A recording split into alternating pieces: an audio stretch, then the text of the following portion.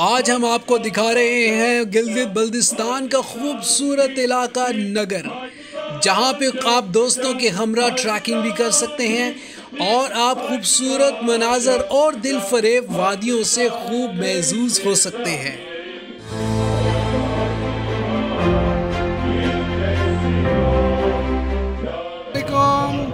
Aslam everyone इस वक्त हम के के एच पे हैं और हम जा रहे हैं गिलगित हमने रूट पकड़ा है के के एच जिसे ओल्ड सिल्क रोड भी कहते हैं। यहाँ से हम जा रहे हैं जी, नगर की जानब। कुछ दोस्त हैं जो वहाँ पे इंतज़ार कर रहे हैं नगर पे जो हमारा वेट कर रहे हैं, वो हमें कुछ मकाम वहाँ पे दिखाएँगे। हम वो भी आपको इलाके दिखाएँगे जहाँ पे हम विज़िट करेंगे। मैं आपको बताता चलूँ, जिस रोड के ऊपर हम है, ये के के एच यानी कराक्रम हाईवे पे हम इस वक्त मौजूद हैं। इसे ओल्ड सिल्क रूट भी कहते हैं, जो कि सीधा खुंजराब पास तक जाता है, यानी कि बॉर्डर चाइना बॉर्डर तक आप पहुँचते हैं इसी रूट को जब आप पकड़ते हैं, और अभी हम चूँकि ये हंजा का भी रूट इसको कहते हैं, हंजा भी इसी रूट के ऊपर आता है, फिर उसके बाद सुस्त आता है, फिर उसके बाद खुंजराब बाईपास यानी कि खुंजराब आप पहुँचते हैं बॉर्डर पे अभी हम जा रहे हैं स्पेसिफिकली जो हमारा रूट है, वो नगर का है। यानी कि नगर हमने विज़िट करना है। वहाँ पे कुछ मकाम हैं खूबसूरत से जो हम आपको दिखाएँगे। और ये पहाड़ी सिलसिला है। जितना भी मौसम आज बहुत खूबसूरत है। आज जून की बारह तारीख है।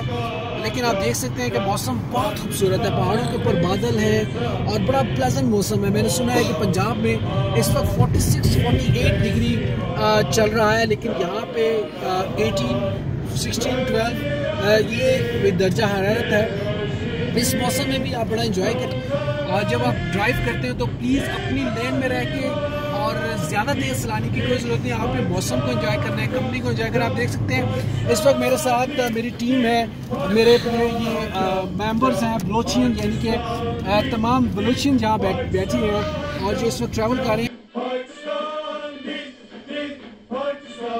राइट जनाब इस वक्त हम ये नगर में हम दाखिल हो गए हैं और ये के के एच से ये राइट टर्न हमने किया है। नगर की जानब आप देख सकते हैं।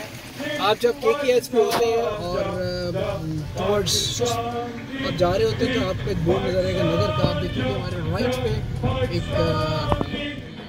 बह रहा है खूबसूरत नदी चल रही है और ये, इस टाइम हम नगर की जानब जा रहे हैं। बड़ी खूबसूरत ये वादी है और इसमें बड़े खूबसूरत मकाम हैं जिनको हम देखेंगे। उम्मीद साहब यहाँ ना भरपूर कोशिश कर रहे हैं आपके लिए ज़बरदस्त कैप्चर करने के लिए ये दिखा सकें।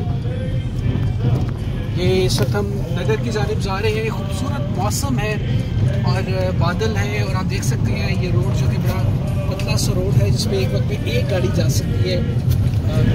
ज़्यादा चांसेस होती है कि एक गाड़ी जाए तो बेहतर है।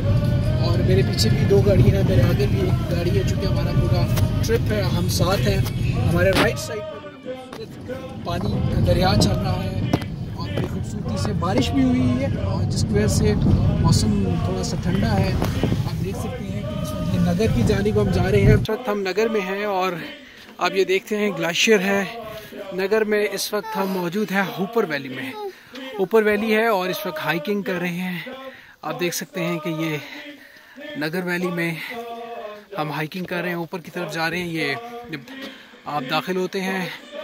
कराक्रम से नगर की तरफ़ आप स्ट्रेट आते हैं, जहाँ पे रोड ख़त्म होती है, वहाँ पे ये ऊपर वैली शुरू हो जाती है। ये ग्लेशियर है।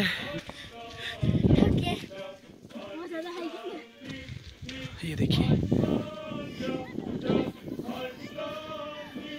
वालेकुम, इस वक्त हदायत हमारे साथ हैं, जो कि एज ए गाइड यहाँ पे काम करते हैं। अच्छा हदायत, मुझे बताओ कि ये रश लेक पे अगर जाना हो मी ग्लेशियर है गोल्डन पीक है तो आप लोग वहाँ से लेके जाते हैं लोगों को? जी यहाँ से हम गाइडिंग करते हैं लेक गोल्डन पीक का। ठीक है आप गाइड करते हो। यानी कि ये नगर और इस वक्त हम मौजूद हैं होपर वैली में। होपर वैली। से आप एज ए गाइड यहाँ पे लोगों को लेके जाते हो और ये कितना टाइम लगता है राश लेक तक जाने में? राश लेक आने जाने का पाँच दिन का ट्रैक है पाँच दिन का ट्रैक है। यानी कि इधर से पाँच दिन लगते हैं। बिल्कुल और बीच में कौन कौन सी वैली आती है जहाँ पे हम रुक सकते हैं? जब आप फ़र्स्ट में होपर ग्लेशियर को क्रॉस करोगे फिर उसके बाद भरपूर ग्लेशियर आएगा। ठीक है। भरपूर ग्लेशियर जब आप क्रॉस करोगे तो फिर भरपूर वैली आएगा उसको क्रॉस करके ऊपर जाना होता है Rush lake Rush lake end पे पीक पे रश लेक पे फिर अगले दिन रश रश भी जाना होता है ये लास्ट है हाँ, खूबसूरत है ये। बिल्कुल खूबसूरत है। पाँच दिन का ये बनता है। बिल्कुल पा- पानी का ट्रिक और जब आप रश लेक पे पहुँचते हो तो वहाँ से के, केटू बिल्कुल आपको नज़र अच्छा वहाँ से। नज़र आती है। यानी कि अगर हम यहाँ पे आए ऊपर वैली में यहाँ से हम ट्रैकिंग कर सकते हैं। और आपका आप सामान भी यहाँ पे है आपके पास? बिल्कुल ट्रैकिंग का सामान है हाँ, क्या क्या? है बिल्कुल कैंपिंग है? हमारे पास पोर्टर्स हमारे पास पोर्टर्स हैं आपके पास। आप एज ए गाइड जाते हो उसका रेंट वगैरह आप चार्ज करते हो। बिल्कुल और कितने लोगों का ट्रैक जा सकते हैं? आप वो आपके ऊपर है आप एक एक बंदे भी कर सकते हो उसमें आप बीस तीस तक जितने लोग हाँ जितना ज़्यादा उतना अच्छा होता है। बिल्कुल बीच में स्टे करते हो जाएँ।